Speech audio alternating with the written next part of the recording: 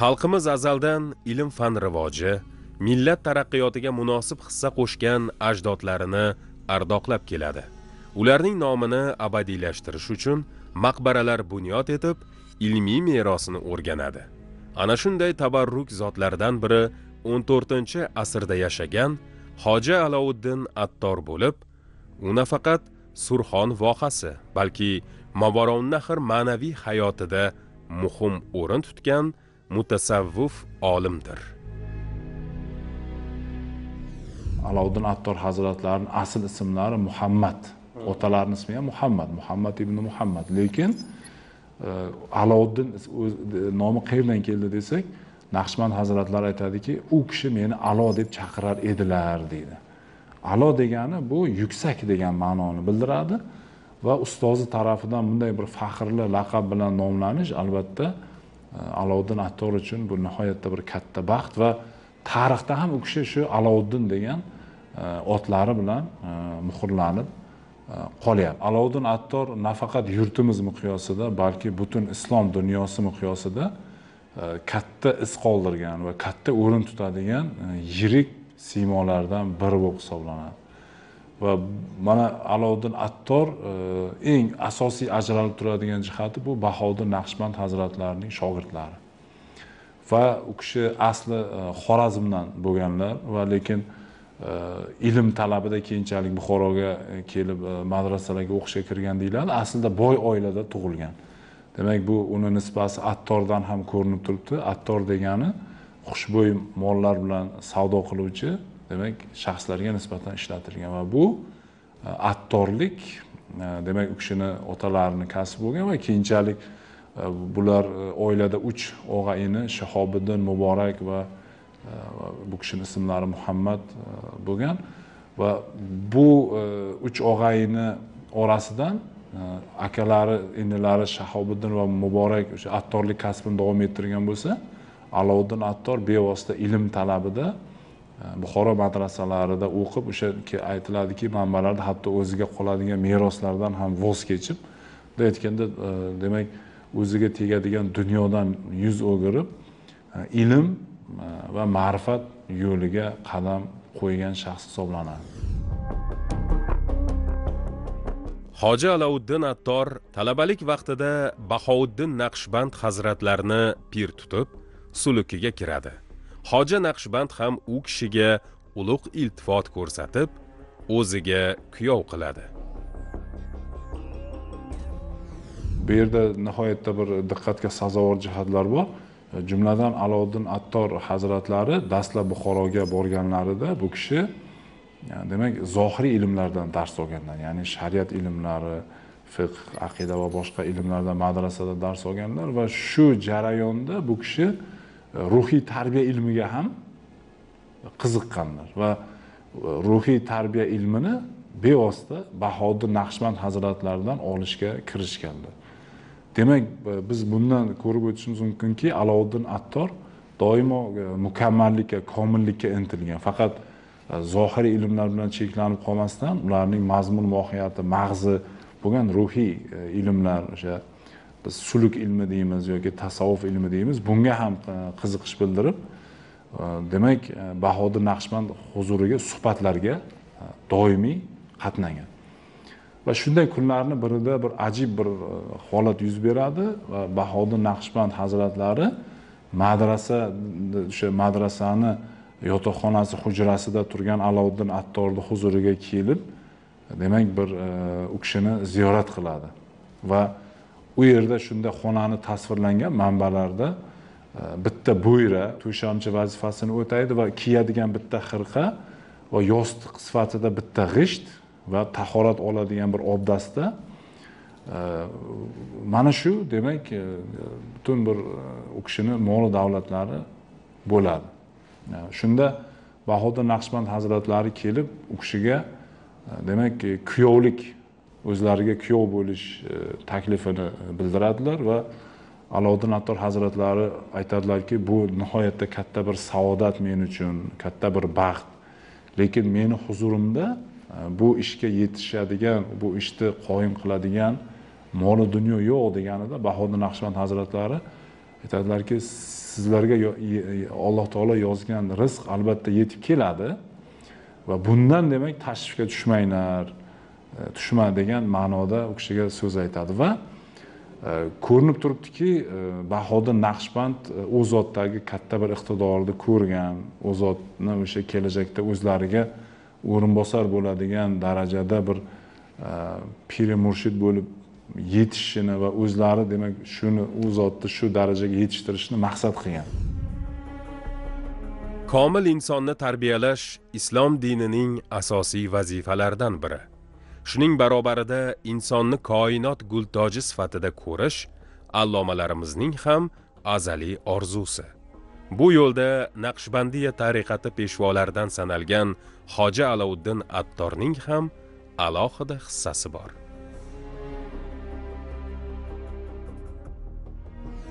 Xususan e, naqshbandiya tariqatida ham asrlar davomida naqshbandiya tariqatining silsilai oliyasiga mansub bo'lgan barcha murshidlari pirlari tomonidan komil inson tarbiyasiga alohida e'tibor berib kelingan. O'zi aslida naqshbandiya tariqati tomonidan ham ilgari surilgan g'oyalarning ham tub mohiyatda mana shunday bir ulug'vor bir maqsadlar yotadi. Xususan o'sha naqshbandiya tariqatining bosh silsilasida turuvchi payg'ambarimiz sollallohu alayhi vasallamning faoliyatlarida ham bu narsani ko'rishimiz mumkin. Xususan e, aslida naqshbandiya silsilasiga bir e'tibor qilib o'tadigan bo'lsak shu o'rinda. E'tibor qilsak naqshbandiya silsilasi tariqatining silsilasi e, murshidlar ketma ketligi birinchi bo'lib payg'ambarimiz alayhissalomdan boshlanadi va undan keyin hazrati abu bakr orqali salmon forsiy va o'sha e, undan keyingi o'sha hazrati abu bakrning o'g'illari va ular orqali davom etib ketganligini ko'rishimiz mumkin. Eng e'tiborli jihati shundaki nima uchun e, savol tug'iladi? Nima uchun aynan hazrati abu bakr? Payg'ambar alayhissalomni atroflarida juda ko'p sahobalar bo'lganligini ko'rishimiz mumkin. Boshqa sahobalarga ham bo'lsa bo'lardiyu misol uchun chahoriyorlardan hazrati umar bo'lishi mumkin edi yoki hazrati ali bo'lishi mumkin edi. Nima uchun aynan naqshbandiya tariqatining silsilasi e, payg'ambar alayhissalom va u kishidan keyin aynan hazrati abu bakr orqali davom etib ketishi haqidagi savollar barchamizni hayolimizdan o'tgan bo'lsa ajab emas. Chunki e, qisqagina islom tarixiga bir nazar soladigan bo'lsak buning oddiygina javobini ko'rishimiz mumkin. Bizni o'sha tasavvuf ulamolari mana shuni asos qilgan holatda naqshbandiya tariqatini e, asosini aynan mana shu ulug' sahoba orqali davom ettirganligini ko'rishimiz mumkin bo'ladi. Naqshband hazratlari alovuddin attorga shu darajada ishongan edilarki o'zlariga yangi keladigan muridlarni o'zlariga yangi keladigan muridlarni dastlab aloviddin attorga e, tarbiyasini topshirar edilar. Toki u bahodir naqshband hazratlarini suhbatiga tayyor bo'lgach undan keyin bahodir naqshband hazratlarini suhbatiga o'tkazilardi. Hatto bahodir naqshband hazratlari aytadilarki e, alovuddin bizni yukimizni yengil qildi. Va uning suhbatidan va tarbiyasidan men ko'p barakalar fayzu barakalar topdim deydi.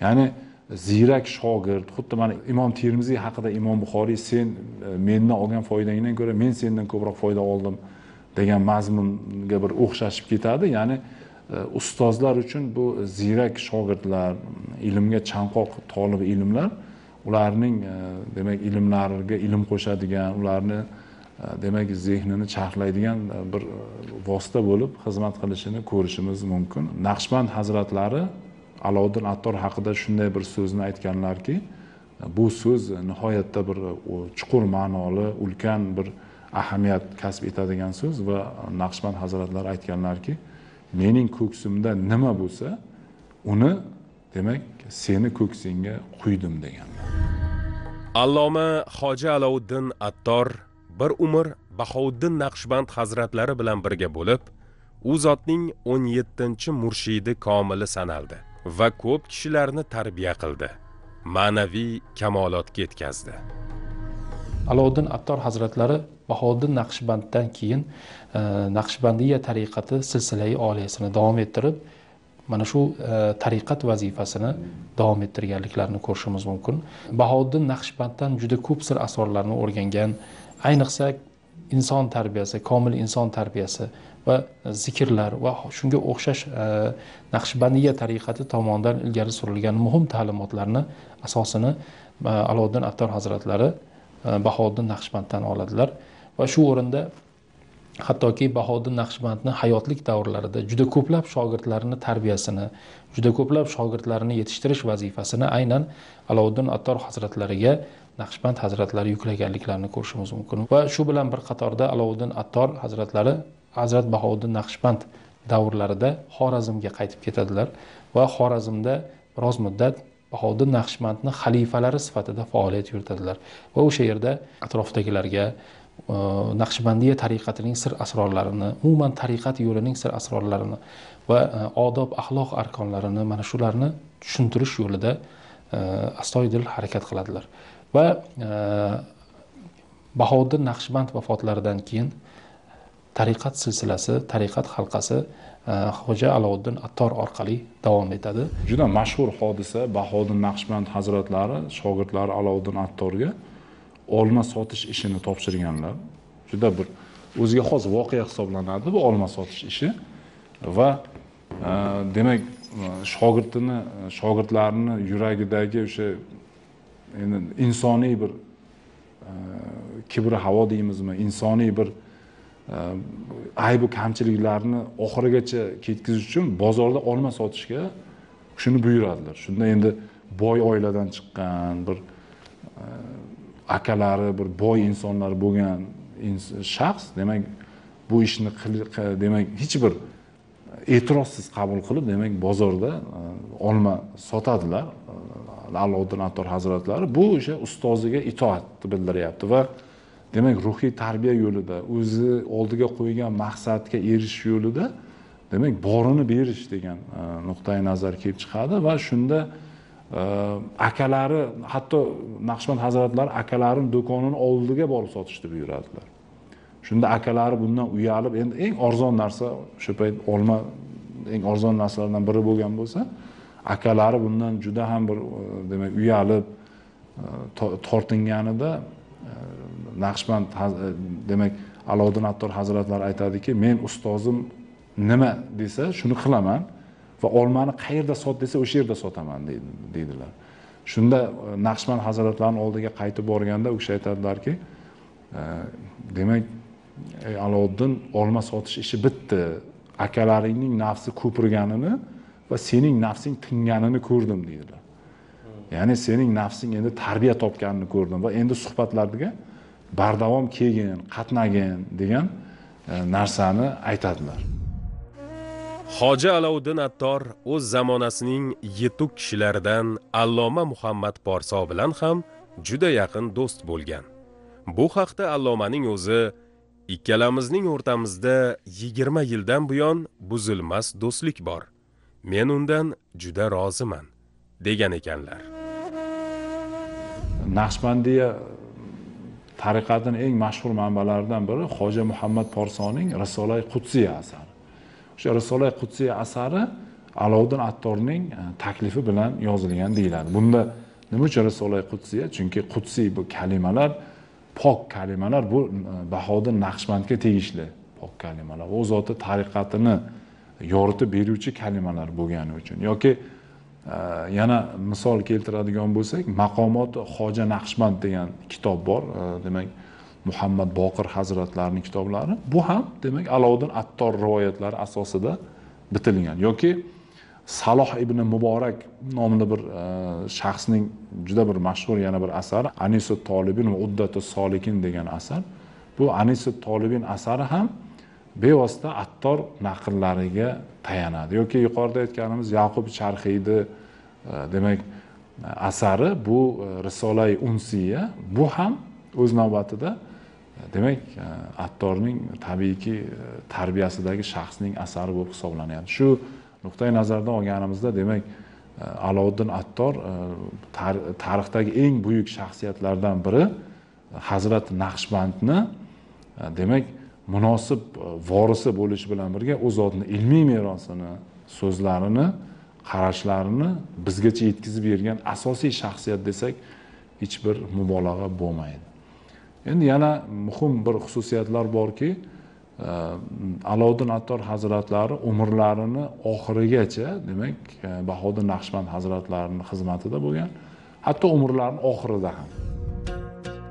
Payg'ambarimiz muhammad mustafa sallallohu alayhi vasallam va hazrati abu bakr roziyallohu anhuning makkadan madinaga hijrat qilganliklaridagi bir vaziyat ya'ni savr g'ori voqeasi islom dunyosida keyingi avlodlar uchun ibrat bo'lib hoji alauddin attor ham bu haqda fikr yuritgan.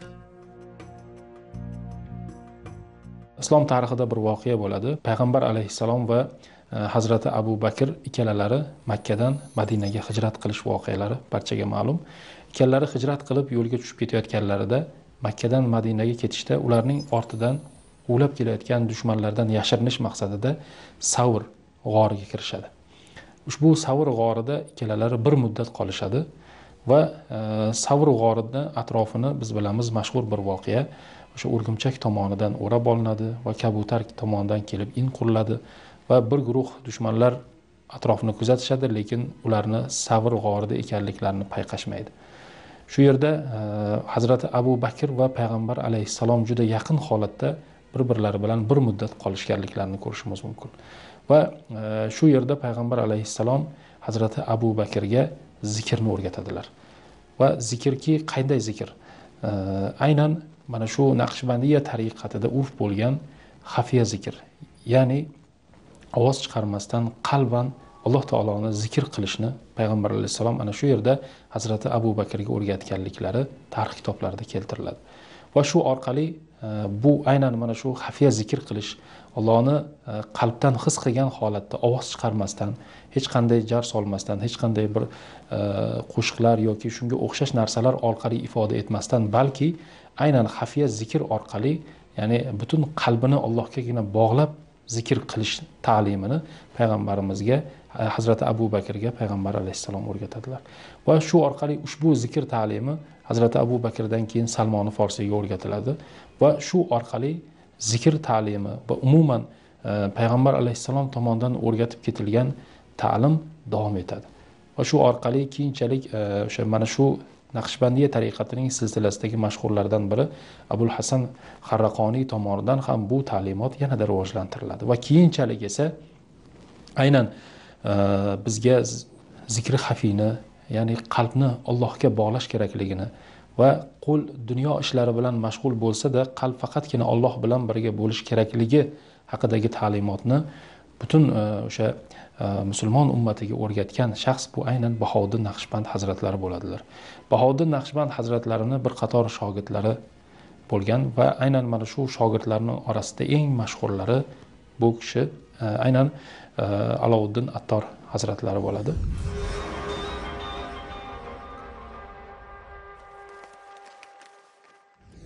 Bahodir naqshband hazratlari vafot qilganlaridan keyin e, u zotni asosan ikkita peshqadam shogirdi qolgan edi. Bittasi alovuddin attor va bittasi muhammad porso va muhammad porso ham oxir oqibatda demak e, aloviddin attorni o'sha pirlik maqomiga loyiqligini tan olib u zotni ustoz murshid sifatida demak e, o'sha e, naqshband hazratlarini o'rniga qolishlariga rozi bo'lgan va aloviddin attor hazratlari tariqatning o'n yettinchi piri sifatida naqshband hazratlarini ishini davom ettirgan. Va bu jarayonda ham e, alovuddin attor hazratlari endi tariqat bir peshvoz sifatida bir murshidi komil sifatida e, faoliyat ko'rsatar ekan. Bir ming uch yuz to'qsoninchi yillar atrofida e, demak hozirgi surxondaryo hududidagi o'sha dehinov e, denov hududlariga ko'chib kelganlar. Bu demak ilgari chog'onyon deyilgan bu hududlar o'sha chog'onyon hududiga ko'chib kelgan va shu yerda faoliyatini davom ettirgan. Endi bu zotni albatta ko'plab shogirdlari bor edi islom dunyosi bo'yicha. Masalan birinchi navbatda o'g'illari hasan attorni aytishimiz mumkin. Va bu demak bahodir naqshbandni e, nevaralari ham hisob bo'lib hisoblanadi. Hasan attor ham juda katta bir e, tariqat e, peshvosi bo'lib yetishgan zotlardan biri hisoblanadi. Va bobosi bahodir naqshband u to'g'risida yoshliklaridayoq bashorat berganlari tarix tarix manbalarida kelgan jumladan podshohlar uni ulovini uni ulovini jilovidan tutishi haqida bashorat berganlari va keyinchalik shohrux mirzo u zotga ot sovg'a qilib o'sha otini jilovidan tutib yurganda bobosini duosini eslaganlari rivoyat qilinadi. E, yoki e, husomiddin porso balxiy degan shogirdlari e, bu zot ham demak aloviddin attorni xizmatida bo'lgan shogirdlar yoki shayx abu said endi asosiy shogirdlari bu masalan nizomiddin xomish va yaqubi charxiylar desak ham bo'ladi. Hoji alovuddin attor vafotidan oldin xalifasi yaqub charxiyni denovga taklif qiladi va yaqindagilarni suhbat bilan uzoqdagilarni esa kitob vositasida tarbiyalash lozimligini vasiyat qilgan. Shogirdlari orasida eng mashhurlari sifatida biz e, said sharif jurjoniy nomi bilan mashhur bo'lgan qiroat bo'yicha islom olamida yetakchi olimlar sifatida tanilgan olim said sharif jurjoniyni misol qilib keltirishimiz mumkin. Said sharif jurjoniy alovuddin attorni huzuriga borib bir muddat suhbatlashgandan keyin bir ajoyib fikrni aytib o'tadi. Bu tarixiy manbalarda keltiriladi. Aytiladiki yillar davomida meni qalbimni qiynab yurgan bir qator savollar bor edi. Ayniqsa e'tiqod masalasida meni qiynab yurgan bir qator savollarimga hazrat xo'ja alovuddin attor bilan bo'lgan suhbatimdan keyin javob oldim deydi. Va shu orqali u kishiga nisbatan mehri muhabbati judayam baland bo'lganligini o'zining fikrlarida o'zining asarlarida aytib o'tadi. Va shu bilan bir qatorda alovuddin attor hazratlarining yana bir xos shogirdlaridan biri o'z davrida abdurahmon jomiy va xo'ja ahror valiy kabi buyuk zotlarni yetishtirgan Э, yaqubi charxiy hazratlari. Ham mana shunday bir e, tariqat silsilasini davom ettirishida juda katta hissa qo'shgan e, olimlardan biri sanaladi alovuddin attor hazratlari. Alloma hoji alovuddin attor 1399 yilda og'ir dardga chalinadi. Manbalarda kasalining sababi bosh va bel og'rig'i bo'lganligi aytiladi. 1400 yilda esa dunyodan ko'z yumadi. Va chag'aniyon hozirgi denov hududida dafn etiladi. Hozirgi kunda mazkur qabriston shayx attor vali ostona buva kabi nomlar bilan ataladi. Bu qabristonga allomaning o'g'li hasan attor va nabirasi hoja yusuf attor ham dafn qilingan. Bugungi kunda aynan dino shahrida joylashgan aloviddin attor hazratlarining maqbaralari doimiy ravishda nafaqat o'zbekistonlik balki dunyoning ko'plab mamlakatlaridan keladigan ziyoratchilarning qadami uzilmaydigan bir dargohlardan biri sanaladi. Shu bilan bir qatorda bugungi kunda aloviddin attor tomonidan qoldirilgan boy ilmiy meros olimning nasihatlari olimning oltinga teng bo'lgan pandu nasihatlari bugungi kunda yoshlarimiz uchun yoshlar tarbiyasi uchun juda ham katta ahamiyat kasb etadi. Bugungi kunda imom termiziy xalqaro ilmiy tadqiqot markazi termiziy allomalar umuman surxondaryo vohasida yetishib chiqqan allomalarimiz ilmiy merosini o'rganish jarayonida aloviddin attor merosini ham chuqur o'rganib kelishmoqda va bu borada ko'plab ilmiy tadqiqot ishlari va shu bilan bir qatorda ko'plab ilmiy maqolalar yozilyapti va eng asosiysi bugun o'sha e, xalqimizni har bir vakiliga yetkazish xususan yoshlarimizga va barcha kitobxonlarimizga xalqimizni barcha vakillariga xalqchil tarzda yetkazish maqsadida alovuddin attor hazratlarining buyuk termiziylar rukni ostidagi hayotlari va ilmiy meroslari u kishining pandu nasihatlarini o'z ichiga olgan alovuddin attor risolasi ham bugun markaz ilmiy xodimlari tomonidan nashr etildi. Naqshbandiya tariqatining murshidlaridan biri bo'lgan imom rabboniy hazratlari aloviddin attor hazratlariga ta'rif berar ekan yo'llarning eng qisqasi va eng yaxshisi bu aloviddin attor hazratlarining yo'lidir deya ta'rif beradi. Ya'ni aloviddin attor hazratlari tomonidan boshlab berilgan tariqat yo'li ilm yo'li irfon yo'li va shu bilan bir qatorda odobu axloq yo'li komil inson tarbiyalash yo'li bu bugungi kunimiz uchun ham bugungi yoshlar tarbiyasi uchun ham farzandlarimiz kamoloti uchun ham muhim ahamiyat kasb etadigan yo'ldir desak mubolag'a bo'lmaydi.